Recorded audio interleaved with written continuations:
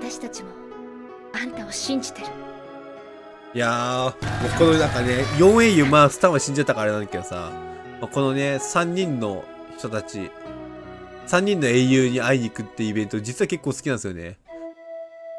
じゃあ、バルバトスをさ、帰る。バルバトスを天戦争品じゃなくて、えー18年前にさ、最後倒したからさ、もうこの時代にバルバトスの影響ないはずなんだけど、確か、なんだっけ、結局スタン病死扱いとか、なんか自己死扱いになっちゃったんだっけど、この歴史の方で。死んだっていう歴史が変わんなかったっぽいんだよね、結局、このカエル、カエルたちにとっての歴史はね。ちょっとここの裏庭貸してくんない？イクシあポスイクシフォスラーを改造するんだってさ。ほらよく言うでしょ。もう最終備えあればロケットランチャー撃ち放題って。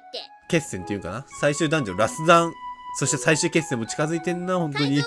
あー、ちょっとデスティ2の実況、そろそろ終わりか。適当に時間潰しててよ。ねカイルおでね、これ、じゃあ今回のね、パートはちょっと、これ、最後リアラとのね、デートっていうわけはないけど、ラグナ遺跡デートでね、終わりにしよカイルと初めて会った場所にう。そう、こここのイベントが大好きなんや、本当に。いや、みんな大好きだと思う、本当に。知らせてやるかかあーなんかこう、語ることが多くなるんだよな、あそこのイベントは。やべえ、涙目になってきた。思い出すだけで。いや、15年ぶりに見れるのか。そして、パーティー2人しかいないから、正直ハードの難易度で進めるかわからんが頑張っていくわ。さあみんな食事の用意ができたわよけなげねんな、本当に。量多くねそれはカイルのさっきのことがあったばかだから、多分帰る食くないんだよということでこのこれが返していいな。不安じゃないのかなで、カエルはもう真面目にね、ハロとか言われただろう。バカはね、考えるんじゃないわよ、みたいな。えルーもう、本当にデスティ2重いよ。なんか話を、話かキャラの背景が重すぎるよ。でも俺ねちょっと、男の子はそうしなきゃいけないっていうの、それ、ポリコレじゃない。え。なんとかリアルを殺さずにエルレインを倒す方法ってないのかな。そう、ここをね、ちゃんと模索しようとしてるのがね、テイルズ主人公らしいよな。そんな聞けるはずねえだろうが。どうして聞けないんだそんな方法などないということを本人の口から聞きたくないかその通りなんだよな、ず、図星です、ジューダスさん。現実を受け入れたくない気持ちはわかるそこを分かるのがまたジューダスの強さというか、なんというか、前には進めないんだ裏切りというね、事実から目を背けずにね、ここまで冒険ついてきてくれてるもんな。あー、夕日になって来ちゃった。15年ぶりに来ちゃったよ、ここほら見。てカイルいやー。この花もこの泉もそしてカエルがまた暴れちゃうんだよな。こここもちょっと賛否分かれるっていう部分あるんだけど、僕はカエルが15歳っていう部分を加味するして、あといろんな重責とか考えると、それはね、逃げたい気持ちも出るようだって部分で、全然僕は許容してる方なんだけどね。苦手な人はこの、カエルのこの後のさ、ぶっちゃけっつうか、気の迷いは、ちょっと苦手な人はいるらしいんですよね。あー、懐かしい。ここでリアが現れたんだもんな。ほんのわずかの間なのにそうなんだよな。現代のキャラからしたらみんな、現代のね、住んでルーティーとかフィリアとかウッドローからしたらわずかな時間なんだけど、彼たちからしたらすごい長い冒険だったんだよな。なぜだ？長いとかのレベルっつうかもどう時代すらも移り変そわってる。んなに笑っていられるんだ。君は死ぬかもしれないんだぞ。それなのに。カエルがここでちょっとね、せっかくいろいろ、せっかくいろいろ英雄からお話を聞いたんだけど、ちょっとねどうしてもメンタルがブレイクしたんですよね、カエルが。いや、君のそれは顔見た15歳の少年がこの重責を負わせてみたいな。もしかしてバンダイナムコ、あ、当時はナムコか。ナムコなんで鬼畜俺なんだよ。どうして君を殺すのが俺じゃなくちゃいけないんだよ。もうたくさんだ。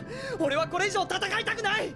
英雄なんてやめてやる。あんだけ英雄になりたかってた英雄が、ぎね、英雄じゃないカエルがね、そうむしろ英雄をね、放り投げようとするんだよな。じゃあ今までのは、さっきのソーディアンとのソー、ソーディアンじゃねえや、英雄3人と話したのは何なんだっていうツッコミもあるけど、まあ、ここはもう本当に気の迷いっちゃ気の迷いやろ。カイル・デュナミス。あなたにしかできそう、ない3英雄、4英雄のうちの3人の話はね、この後ちゃんとね、そう、最終決戦に向けての心構えとしてカエルは決まるからちゃんと。確かにそれは。ちゃんと影響を及んでる。ただ今はちょっとどうしても精神がね、不安定なんですよね、しれない。さすがに。でもね私信じてる。私の好きなカイルは決してそこから逃げたりしないって。だってそれがカイルだもの。よう言うた。教えてくれリアラ。ほらもう精神が不安定すぎる。自分で決めるんだとかみんなから言われたらどうしてもちょっと。ってちゃんと分かってるんだよカエル。そう。けどどうしてもねリアラリアラからねその答えは間違ってない。別の答えをすがりたくなっちゃう気持ちもあるんだよ。俺がその道を選んだらリアラはどうなる？消えるんでしょうねあらゆるうわーちなこののあらゆる時空間っていうのがまたちょっとしたオチにつながるわけである。オチっつうか。ねそのエルレインたちを倒した後につながるわけなんですけど、時空間からね。だって存在が抹消になるんですよね。カイルが教えてくれたんだよ。リアラたちの存在が。それによってこの冒険自体がねみたいな部分もあるんですけどその辺はまたラスボスを倒した後にでも語りましょう。覚えてたらまあ、のキャラが語ってくれればいいんだだけどね。ハロルドが語ってくれる。そうやって歩いて初めて本当の幸福を手にすることができるって。リアラカイルが人の手に歴史を取り戻す道を選んだように。私も選んだちゃんとリアラもう選んだんだよな。じゃああとはカエル選ぶだけやおめえが。カイルやってやろうぜ。神を殺せ。たとえその先にどんな結末が待っていようと。私は歩みを止めない。だってカイルと一緒に歩む道にこそ。私の幸せがあるんだもの。ああ来た来た。もうちょとりあえずちょっと黙るわ。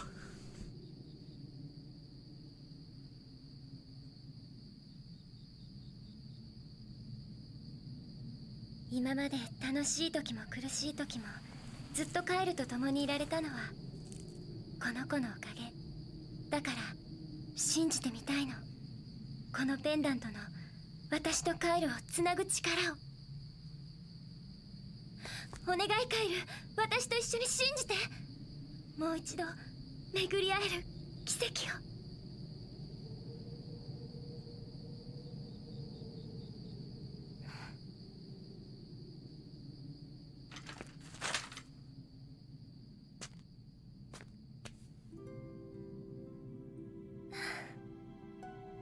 信じるよリアラ。必ずもう一度会える。そんな奇跡を俺も。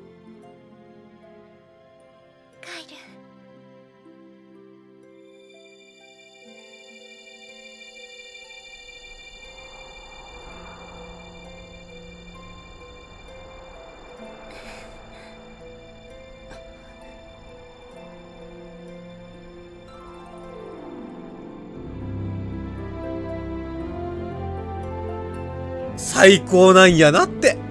ああここが一番好き。好きすぎる。ああそしてそのペンダントがねあいやまずねまた巡り合えるって奇跡をね二人は信じるんですよ。そこがねまたちょっとね最後のオチの伏線というか繋がるわけなんですけどまたこのペンダントがねどっか遠い方に飛ぶんですよ。多分もう時空が変わったんだろうねそう。この消えてったペンダント。この消えてったペンダントがまたねえー、オチに、オチつかね、エンディングのその伏線というか、まあ、伏線？なんだろう、まあ、考察材料になるわけなんですよね。っていう感じなんですよね。ああ、15年ぶりに自分の力でこの映像を見れた。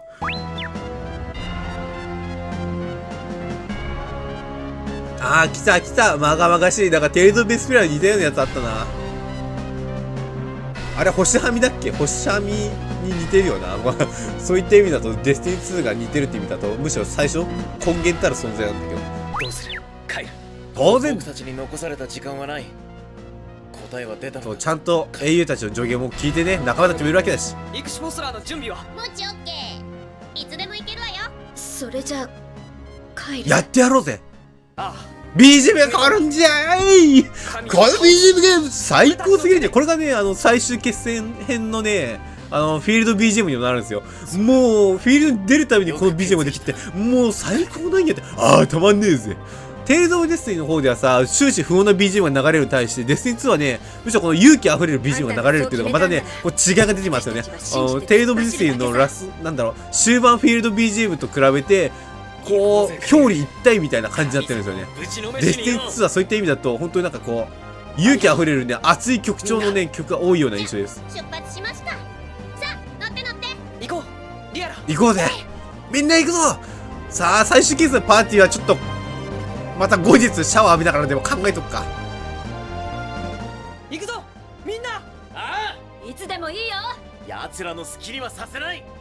それじゃレッツゴーいくぞじゃ、次回、ラスナ攻略、神の卵編こ交互期待。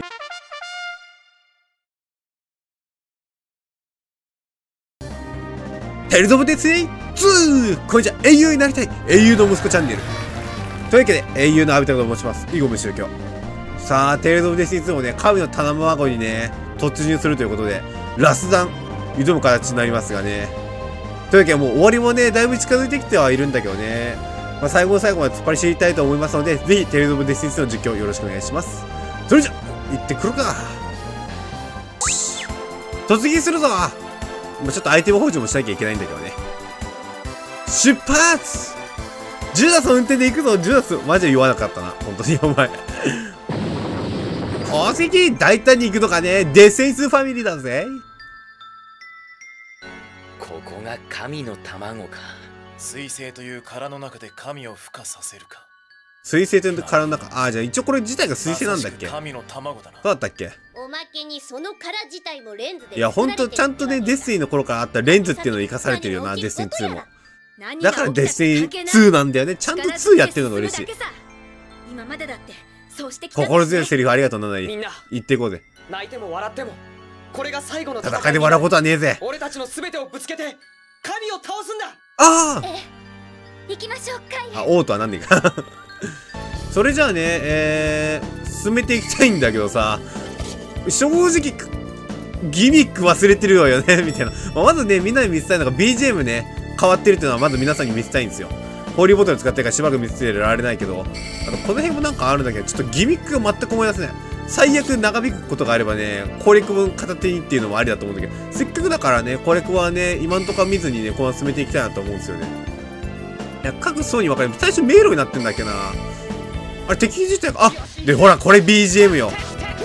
まあ、この後ね、倍速の方でもちょっと、倍速の方でこの BGM 流す予定でもあるんだけど、そうこのね、かっこよさ。これはね、テイルズ好きの中でも結構評価が高いっつうかね、かなり人気のね、類になりますよね。な なんか同意を求めたけど、いや、人気なんだって、この BGM、本当に。あの、テイルズのベスト BGM みたいなのもあって、あの、テイルズ公式チャンネルが出してる BGM ってね、あるんですよ。あの、テイルズのね、神 BGM とか戦闘 BGM 集みたいな動画があって、で、そこにね、そこにね、採用されてるっていうか、デスティニー2枠として採用されてる BGM の一つで、やっぱこの BGM が好きな人って結構多いらしいっていうのがねあって、いや、実際この神 BGM なんだよ、ほら、この、てれてれこうなんかもうね、最終決戦っていう感じと、なんか儚さを感じつつもね、勇気が溢れるようなね、そう、この、なんていうかね、もうなんか神 BGM なんだよな、ほんと。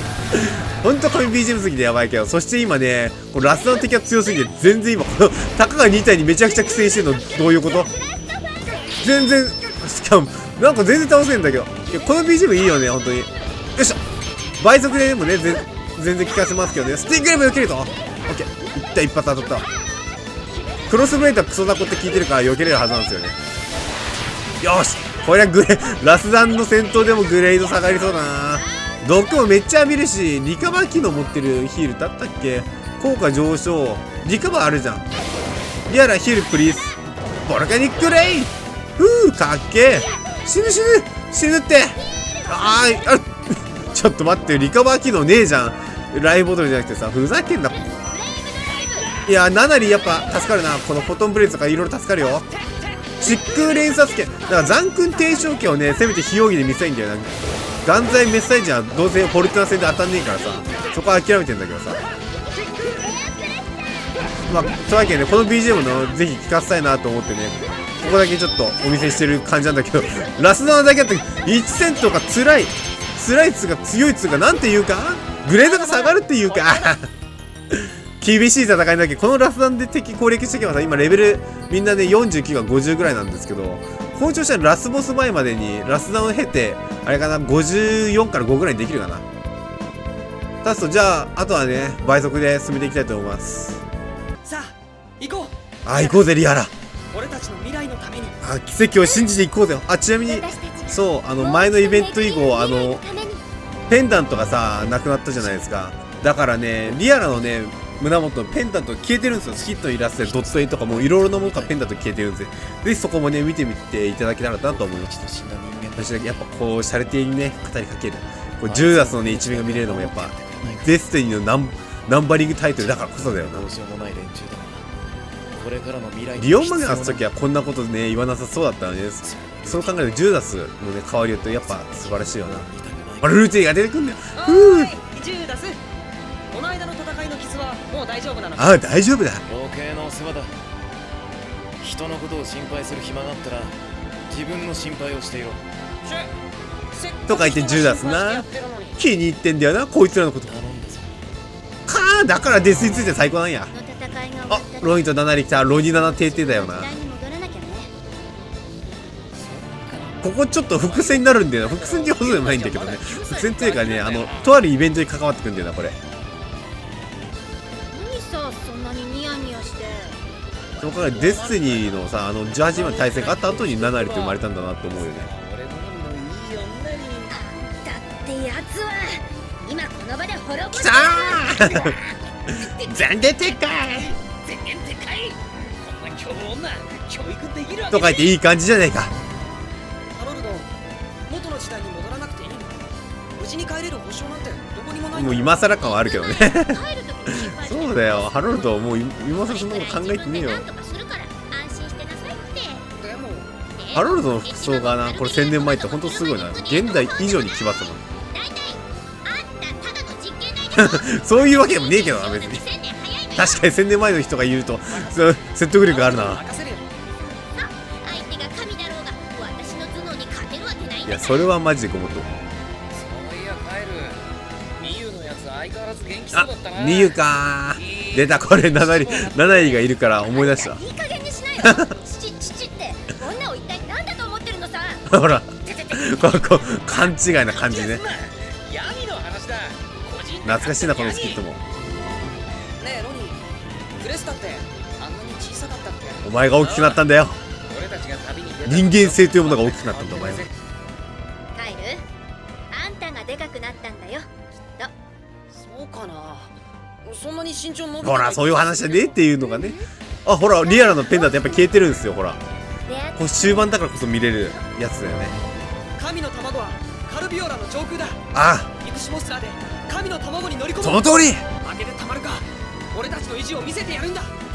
あーこのねテイルズの終盤のスキットほんと好きなんだよな。テイルズの終盤スキットって全キャラ出てくることが多いんですよパターンとして。でみんなおーって感じになるのが好き。リバースとかでもそんなスキットあったしな。ほらこういうのが好きなんだよこういう描写が。一人一人がねこう色々語るのがいいんだよ。ほらねこれがデスティニー2のメンバーやっぱ最高なんやな。はいとりあえずここまで来ました。はいここまで来るのに1時間かかりました。皆さんどういうことかお分かりですね。たくもう敵が強すぎよ本当に。いや倒せる敵と倒せない敵っつうかさなんかビショップ3人っていうなんかごついクソじじいがさあのー、何メイスみたいなコンボみたいなの持ってさグランバニッシュ放ってくんだけどさそいつが3人出てきた時とかやべえんだよ。やばい時があってそういう時はね引かざるを得ないんだけどそれでも死んじゃう時があってさ。もうほんとイライラしたマジで。マジでイライラしたけどようやくまず一つ目だよし次だね。これで次いけるぞ。でこうなんかイベントあったっけ？なんだいここは。壁には鏡。床には確かねこの変化を忘れたけどね。6人それぞれが敵とあリアラは除くっけな。なんか1人1体敵を倒さなきゃいけないっていうのがあってそれでデルスエンブレムを確か回収するってイベントがあったんですよ。確かねオリディでもねデルスエンブレムあったからそこ懐かしく思いますよね。あほらほらデルスエンブレム。リメディの方でデルスエンブレムはなんか消えちゃった気がするけどオリディではねあったよねデルスエンブレム。ファンタジアでもあったし。こっちの鏡は何だろうシンフォニアもデルスエンブレムあったな見たところ普通の鏡臭いが。あでここでね鏡を見るとこういうのでなんか怖いよな。本当に。なんだこれ。ちただの鏡じゃねえぞ。この鏡はょっと1時間黙々とやったせいでだいぶ疲れちまったな。前にエルレインに夢を見させられたことがあったでしょ。そう。ああーじゃあ鏡の中に入るんだっけ？よくちょっ鏡との中にはみんなの記憶をかたどまあ、ったかといって別に敵はその記憶を司った敵っていうわけでも別にないんだけどさそう けどね一応ね一人一冊しなきゃいけないっていうのもあってだから中にハロルドとかナナリ単体で勝負をしなきゃいけないっていうのもあるんですよデリスエンブレねムとかいうものでリアルはなかったっけな確か。た多分いやリアルはあったっけな今日もうここでリアルは使った覚えねえんだよな。多分ない気がするんだけどな。よし頑張るぞ。ここはナナリーだよな。確か。トラッシュマウンテンだったわね。の番みたいだね。まあこのゴミの山はこんな感じでリアライガーが確か一人一冊しなきゃいけないって感じなんだけどナナリの敵が一番強かった気がする。いやナナリがあれか。あのナナリがそもそも当時ね学生時代当時使い慣れなかったせいでさ苦戦をした覚えはあるんだよね。えーとあー龍炎戦覚えてねー。くそー。まあまあまあやるしかないでしょう。えー、虚空戦といやえーとオッケー。よし。H こんなにあるんだもんな。なかなか戦いがきついとでしかもこいつ凍結効果とかもあるんだよな。あこここれがね凍結効果あるんだよ。よし。こんな感じでこう。弓のね特に関してはねガレン戦だけねあれなんですよ。特技連携ってのができてナナリーはねあの他の弓特技ガレン戦以外の特技とつなげられるっていうことがあるんですけど、まあ、CPU 意外とねその辺を生かしてくれるんだよガレン戦だけはね。この辺うまく使ってくれるんですよね。とはいえ SP もキープしつつだよな。なるべくヒットアンドバイこいつのね噛みつき攻撃はね意外と当たらないんですよ。そうよっぽど近づかないと。だからねそこがね安心できるっていうのもあって意外とねこいつが沼プをしてくれるから戦いやすいんだけどなかなかね通らないんだよな。だからこれ当たらないんだよねこの口の攻撃。これが助かる。だからこうやってだからそれがフォトンブレイズをやった方がいいかもしんない。ああ突撃してきたあでこの左隅になるとやばいわけなんですね。本当に。だからやっぱ近接砲火近接か指攻撃やった方がいいか。で呼吸とスプレースやってくる。それはメタルガルルモの技やないかいっていうわそんなのが分かる人ってどんだけいるんですかねうちのリスナーに。うっあこれがやばいんですよね。これがまずい。いやーやばいよね。おじさんもやばいと思ったとこだよ。ダメだやっぱ。こりゃちょっと厳しいものがあるな。うーん。うまくフレアフレームドライブからさ繋ぎたかったんだけどな。厳しいものがある。こいつなんかいやーてか SP が使いすぎでうまく繋がんねえな。よしよし。あーほんとギリギリなんですよねこれ。なんかもっとこアップね。呼吸とスプレスしてきた。このほんとメタルガルモもどきはね。なんだろうこれが辛いんですよ。くそ本当に決める前に終わっちゃうな。いやこれあージャンプは良くない。戦いづらいよ。あとうとう牙が当たっちゃった。ここここフレームドライブ来た。フォトンブレイズ。ここまで連携できればひとまで OK でしょ。で 9HP は9000ね。OKOK よしよし。劣化線劣化線多分こいつ氷弱点つじゃねえが、えー、炎弱点だと思うんだよね。スペクタクル使ってるヒット引けるか OKOK だから弓使ってあ風は耐性あるからか。じゃあ正直ずっと劣化線使った方がいいんだな。それかガレン線からの虚空線。いやー龍炎線があれば戦いやすいんだけどさ。僕なんか学生時代よりもねなんかレベルが低いんですよね。いやニンブライマシャルびっくりした。こいつこんな技使ってるけどいや学生時代で僕なんかあの技に倒された時は確かにしなくもない。確かにこいつなんかこんな技持った気がする。僕それでなんかね倒すようなところで負けちゃった記憶があって。それをなんか何とか繰り返した気がするんだよな。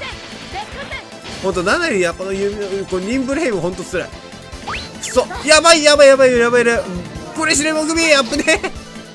ゴレシレモン組間に合った。あとあと何秒だ？1秒遅かったらもう終わってたなやべ7リの戦いどんだけ僕レモン組使ってんだ。今日この SP だとガレンス使えねえしな。もうあとちょっと倒せるのにさ本当にこれ厳しいぜ。よし隙を見せたな。あともう一回このコボやるよ。SP 回復したら。ああだからそれずるいっつってんだ。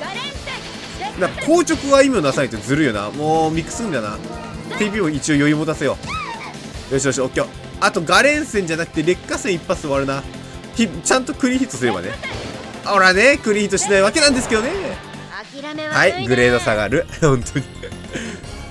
うまくいかねえよな本当に。っていうねこんな感じでね他のキャラでもやんなきゃいけないんだよだから絶望したよね7リの時当時使ったことねえぞっつって それで負けまくったからなあー、オベロン社廃校になると10ダスになるんですね。この辺はね、やっぱそのね、下の、こう、背景というか、背景というのかな、なんかその、空い間によって分かるんですね。記憶提供別になんかね、ちなんだキャラが全く出てこないっていう、そんなわけなんですけど。ただじゃあ、10ダスはね、まあ、序盤の子に割りが使ってたからね、多分いけるでしょう。戦った方が良さそうだな。よしよし。いいな、このコンボでいいや。あんま月戦校ってなんか、ちょっとコンボで使いづらいんだよな。そして10ダスの神防御力を踏まえてどうするかだよな。ほらほら、月戦校なんかうまく当たんねえんだよ、これ。月戦庫でどうやって当てればいいの？なんかこれ距離感が大事なのかな？よしよし今日まあじわじわとやれてるやっぱ何やかんや使い慣れてるだけあっていけるわいやもうもう月戦庫いらねえな総連撃の方がいいんじゃないかよ僕あーで死にます死にますすいません。私このままで死んでしまいあります。オッケーまあ1対1で戦うね敵たちはあんま強いわけでもないんですよね。まだよしよし月戦庫を使うよりかこっちの方がマシだわ。ほい。魔法とかもない光使えればいいんだけど別にプリズム話は使ったところでな。なんか総連撃当てづらいな。総連撃もやりづらいからな。ちょっとどうしよう。えジューダスもだってさもうぶっちゃけ当時が確か思ったんだけどなんか当てづらいんだよな。から戦列コース粉塵烈破症あたりなんだよ奥義だってやつあとは飛燕飛燕山とかそんぐらいかな。飛連山あたりとかこの辺のコンボがやっぱ一番ちょうどいいかなって感じ。それ以外はだからね正直使いづらかった。記憶ある幻影児とかも使いづらかったしね。まあ幻影児はねリメディの幻影児はめちゃくちゃ使いやすかった。すんごい改善されてるリメディの。リオンマグナスのさ。あー間違えた。オッケー当たった当たった。オッケーオッケー。よしよし。ジューダスの成長をやっぱ総合的に見せたかな。なんかもっとジューダスはさなんか強みを生かすっていう方向性で僕はそう称号のセッティングとかもしてたんだけどさもっとあれだったかな。それよりか弱みをさよりこう弱点克服っていうのを狙った組み合わせの方が良かったかもしれないね。例えば HP とか防御をさアップさせるようなさそういった感じの組み合わせで称号をねやって成長させていくのが良かったかもしんねえなってちょっと後悔してる。ラストレモングマンもうこれでラストだ。ちょもしかして一回買い物行かないかも。買い物行かないとダメかもしんねえな。この後ハロルド戦やカイルはもういいんだよ。あいつは信用できる。絶対強いか。ロニとハロルドなんだよな。そこがちょっと懸念点。オッケー。てかなんだここの戦いすら乗り切れるかちょっと今怪しいとこでもあるからな。よしなったなった。よし。でこっからしばらく逃げ惑えばいいから。いい助けてくれ。ああほんと。ジューダスってほんと神なんか神神耐久になんだろう防御力低いし体力もないしでなんだろうね罪なんだよね。はってかめっちゃダメージ食らってんだからバカかこいつ。スピリッツブラスターやったかこいつあやべ SP がない。スピリッツがない状態攻撃する弾かれるぞ。くそー。あとちょっとあんだけど 2, 2連コンボやんねえとな。耐えきれねえよな。だから1回ミックス組挟挟まないとダメだしな。だからジューダスななんかもうちょっと弱点克服させないと。およっしゃ SP なかった。あーじゃあここチャンスだ。よし。ほらーやってやったぜ。あー こんだけアイテム使ってようやく倒すんだよな。強いわけではないんだけどなんだろう。やっぱデスティスのキャラって帰り際が癖ありすぎてほんと戦いづらいっていうのがあるわ。えーとここだとロニかな。ストレイライズ神殿だと確かロニだった気がするんだよスなトレイライズ大神殿。ああれリアラ？あいや違うな。そう。リアラではないんだよなそうそう。私にはこのだからやっぱそうなんだよ。リアラはね対象外なんだよ。ああーこの辺も思い出してきた。だと思う？いや俺がストレイラ大神殿かみたいな。まあ一応ねあの働いてたっていうね設定が序盤にあったからね。まああれ首だろうけど。さっとこいつだよな。よし。ロニはね命中率が少ないからな。そこをうまく補正して戦わないと。大事賞そうだねロニああライジン賞からのコンボが先行パパが通じない。なんてこった。コンボが使いづれえぞ。今日はロニはなんかね使い使い慣れてはないけど安心感が。先行パパ思って使いづれえよ俺。だから先行パパは衝撃がねすごい短いや。これ戦いづれえぞおい。でグラデーターうんうん。他のキャラと比べるとねすごい戦いやすいっつうかあいいねいいね。これだなんかやっぱかなんかやけにねコンピューター操作とカッパが爆走撃やってるなと思ったんだよ。あとロニーにはねホーリーシンボルってあの自動的に HP がね徐々に回復していくねそういったアクセサリーをつけてるんでそれもあって戦いやすいですね。あの困らないわ何かロニーはねあんま苦戦しなかった記憶あるんだよね。無表彰はあれだな単発では聞くけどなんか隙がありすぎるんだよな。うーん法追賞はよいや法追賞意外とありかもしんねえなちょっと。なんかそういえば僕この自分の実況でロニーをね操作したことなかったもんね。これを機にねちょっと使ってみるか。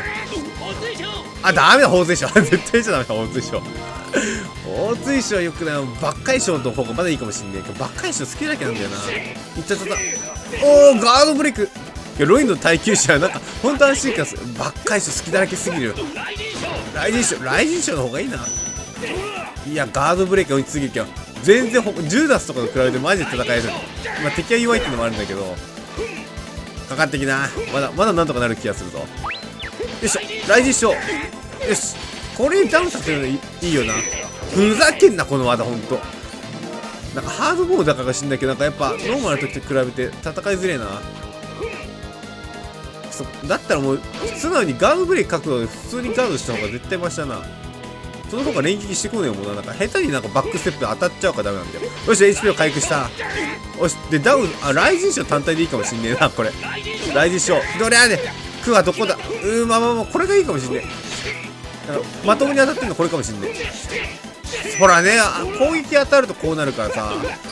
あやスピリッツブラスター状態で OK ずっとガードするわ。ずっとガードしとけばいいんだよ。さっきも10ダスの時にねバックステップとか変に避けちゃうからねああいう沼プーになっちゃうんだよな。クワどこだ。決まった。当たってないし。カッパ爆走撃あとこうとどめだまあグレード下がるよな。このこれで当たったことねえよ。当たったことじゃねえよ。グレード上がったことねえよマジで。ふざけんな。まあ何やってもまあロニ戦もなんとかだったからよかったよかった。ここはもう安心安全のカエルのステージだからな。気楽でいいな。俺の記憶のカイルの敵が誰だったかは全く思い出せないんだよな。敵つか魔物いやカエルは全く苦戦した記憶はないです いやけどどうだったかな？まあどっちじゃ？あーないわ。やっぱ大丈夫だ。これは余裕だわ。あーけど術技がな空にいるから鬱陶しいんだよな。しかもめちゃくちゃ攻撃当たんねえし。うーんまあ鬱陶しいっていうぐらいだね。回復アイテムはちょっと使わざるを得ないけど。全然やれようやりようはね全然あるんでね。これはいけますね。いや本当にだっていやもうガードボタンちなみに押してる押してるんよちゃんと。ガードボタン押してるんだけどガードボタンのずっともう長押ししてんだだって僕特技出し終わった後に。なのにガードガードよりも先に敵が攻撃してくるからガードが意味をなさいっていう。ねほらもうふざけんなこれマジ。マジおかしいだろ。ごめんなんか前撃撤回かもなんか意外と帰る苦戦した記憶あるかもしんねえ。ほらもう通常攻撃は1回でもちゃんと当たんなかったらもうすぐこれだもん。なんか敵だけこれでずるいよな。さあそうスピリッツブラスターになりやがった。ハロルド専用でミラクル組とか残せるかこれ。なんなんかやばい。ちょコントローラーがガバッコンとかしてもうまともに攻撃。みんなはハードモードでこんな当たんない。ノーマルだとねなんか、ま、割りかし攻撃やったんだよ、まあ、こんな感じですぐすぐ攻撃食らか意味わかんないんだけどさ。はあなんでこうなってんだっつうの。マジで。はあ。いやーブチギレそうこれ。ここまでアイテム使って負けるとマジブチギレるよ。いやもうアイテムねえし。ハロルド戦のためにどっちにしろアイテム補給していとダメだこれ。ああふざけんなこいつ。ああもうブチギレそう。クソゲーオっすほんと。バランスおかしいんだって。じゃあゲームオーバーにはなんないんだよね。ダメだもうアイテム結局足りねえしどっちにしろ補給しねえとな。なんかいろいろめんどくさくなってきたこのダンジョン。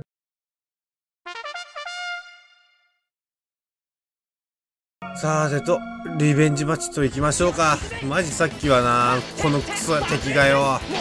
もう負けねえぞ、マジで。別に強くなったとかそういうわけではないんだけどね。アイテムご利用して戦術でお前を倒せるっていうのはもう分かってるんでね。てか闇が弱点っつっても、持ってねえよ、闇属性なんて。くっそかといって、チリハジャン当たんねえしな。空翔山、めったに使わないけど、空翔山の方がいいかもしかして。もし空翔山の当たるかもしんない。これでいいか？空翔山よしよしこれでいけるかもしれない空翔山が一番当たるぞ。空翔山はね連携技が弱いからねなんか追加特技が弱いからあんましなんか使われない印象があるっていうか僕も実際使わないんだけどさ。やっぱこれ当たり判定いいな。エルレイン戦とかも考えてちょっと空翔山空翔山をねレギュラー技として採用するのはちょっと候補として考えねえとな。これがあればもしかしたらガープ戦とかもうちょい楽だったかな空翔山空翔山いや今日なんかよ空中でチリハジ使った方がまだ強いんだよな。あれそしたら僕もしこの戦に向けてこの戦に向けてさ空中でチリハジ打てるようにしといた方がよかったかな。どうせ空翔山追加特技なんてクソ雑魚だからさ。あとそうだなんか攻撃がねあのさっきよりもさえー、火ダメだね。火ダメが少なくなった理由に関してねちゃんと防具をねあのあの後変えました。ちゃんと防御力をねその分上がったんでそうねダメージが全体的に50から100ぐらい下がってるんじゃないかな。あスピリッツが足りない時は攻撃するな。弾かれるぞ。ロニがそう言ってました。うわーなんかやべえとあいつ。うわ変態しやがった。変身って言うじゃねえの。一緒だよ一緒。うわだってなんでこいつぶまたブラスさ。くそ。どうせこの後道中の戦いもあるしミラクルグミとかふんだり使っとこう。くそ。早くスピリットブラスターになるよ遅延来い。ほんとクソクソ遅延やクソ遅延を打つこのご利用したいとこだけどなんかこの敵に関してはカイル相性悪いからな。じっくり見定めてちゃんと回復して。よしここは空将だ疾空連殺剣で300ぐらいしか減らないんかい。もうほんとずっとカス当たりだもんなマジで。いやだからこれで終わりだ。いやー終わり。なんとかなあー。ごめんなんか下手したらカイルの敵が一番強い説があるなんかゴミ本当にゴミオブゴミな敵なんで本当に。ストレスが溜まるぜ。一見しプレスあ、おした来た。見せてやる。貫けザン天正剣見せれた。残空天正剣ようやく見せれたよ。もう視聴視聴じゃなくて使用回数とかもね結構稼げて費用費がね解放されるようになったんでねせっかくだからと思って。残空天正剣お見せして。残空天正剣はねデスティン2が初出なんだけどその後ねリメディの方にね逆輸入って形でねまるでかさかもスタンが元れたかのような形になったんだけどスタンが残空停止機を使うっていうシーンがね導入されたので皆さんびっくりしたんじゃないですかね。僕もラスボス戦でまさか残空停止機やるとは思わなくてさスタンが。びっくりしちゃった。あ逆輸入じゃんみたいな。これは未来紡ぐ栄光の剣だ。あれ？あってたっけ？ちょっとセリフ忘れちゃった。じゃあ最後はハロルドだね。あらここって地上軍の拠点かしら？随分とボロっちいけど。1000年前は割り消しボロボロじゃなかったかな。いやまあさすがに現代の方はさらにボロいけどさ。さすがハロルドはどうやって戦ったか学生時代覚えてないんだけど意外となんとかなったの覚えてる。そうこいつなんだよ。戦う敵はこのよくわかんないやつでインクジクタ弱いんだよ。正直ハロルドの敵は一番弱かった気がするけどいかんせんハロルドだからどう戦おうっていうのがね結構悩むっていうのはねあった気がするんだよな。シャドウイチとかでなんかちまちまやった方がいいかな。あれけど今耐性あ弱点光じゃねえか。デルタレイは弱いからなるべくプリズムフラッシャーでやってあげるのがいいんだろうけどね。プリズムフラッシャーオッケーオッケー。ああ大丈夫よ。ほらほら。だからハロルドの敵はなんか一番弱かった気がするんだよな。うん。学生当時は正直訳が分かんなくて近接でやっちゃったけどあなんかプリズムフラッシャーで意外となんとかなるもんだな。あでうわちょ待って待ってエクセキューションは知らん。うわ HP1 は残るんだ。ラッキー。はあ。なんか攻略本に書いてあった気がするな確かに。なんかこいつこいつなんかエクセキューション使ってくるだか使ってこないだかなんか。あやべこれ外したのでかでかいやつかやらかしやらかしがすぎる。いい HP 一応これ。今最後ライガーショあったら勝てたよ。っていうわけでままあハロルドのは戦いやすいよね正直。なあこあれこいつ HP が減ったらやるんじゃなかったっけ？エクセキューション。あれもうプリズムフラッシャー一発撃ったあたりからもうエクセキューションやられたんだけ？ど意味がわからん。あほんとさっきなんか乱数的にまマジで第一戦目は乱数めっちゃ良かったんだ。エクセキューション全然やってこなかったしね。なんかもう今プリズムフラッシャー一発撃ったらやるしなんだったら今1戦目の時はさこいつここにいた時めっちゃ攻撃空振ったらさ今めっちゃ当たるようになっちゃった。まあ初戦だけちょっとある種バグだったんだななんか。うん運が良かったすぎる。運が良かっただけにあそこで決めきれなかったら本当に運が悪かったとしか言いようがねえんだよな普通に。結局ただの運なんだろう幸運に見えてたの不運みたいな感じで。勝負だけどライガショが結局普通にダメージ通るからなんかプリズムフラッシャーやらねえや。なんか変にプリズムフラッシャー打つとなんかこいつエクセキューション打ってくるからな。よし。今日もプリズムフラッシャーでとどめを刺してやるよ。フラッシャー！やべとどめ刺さなかった。おおゴリ押せ！ああ最悪。もう最悪。もうまた倒しかけたのに。何回これやんの？よし。もう勝ち方分かったよ。プリズムフラッシュやってちゃんとあ当たんなかった。最悪。避けろー！エクセキューション。避けれるんだなそれが。でこの瞬間アップルグミ使えば余裕ってわけよ。よしよし。勝ち方は分かったよ。でここでちゃんと後ろに下がりながら炎症するとこいつの攻撃を空振りさせることもできるっていうのも分かったんでライガショー!おっしゃ間に合った!はい戦い方余裕すぎた。通常攻撃いらなかったよそもそも。通常攻撃せずにライガショー打ってれば絶対勝ったんだって。たく苦労させやがって。よし今日これでデルセンブル全部回収したからね。もうあとはエルレイの元へ行くだけだ。神の卵の最深部一応今中層部なんだけどさ最深部もなんかあったっけな？下層部ってあったっけ？あここだここでデルスエンブレムが解放されますみたいな感じなのか。よし。開け。真実の道よ。開けごま。開けごまも開けごまもこれデジモンアドベンチャー話なんだけどこれ知ってる人いるんですか？知りませんよね。すみませんでした。さすと中層部2時間かかった。えー、っと上層部1時間中層部2時間で今3時間やっておりますが 僕そろそろ寝ていいですか？明日仕事なんですけど。さてで下層部って何かあったっけ？下層部下層部で何かやんなきゃいけないんだっけ？あんま印象に残っていいんだよな。うわーこれはこれでめんどくさそう。まあ、倍速でお送りしようかしらね。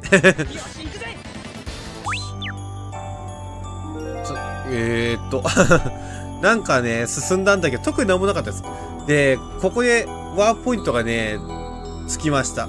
そうなんだよ。あのデスティニー2ってねあの最深部のセーブポイントと神の卵の入り口のセーブポイントが繋がる形になってそれでワープしてあのすぐにねアイテムを回収できるというかアイテムを回収したり回復したりとかするっていうねそういったね準備ができるようになるわけなんですよ。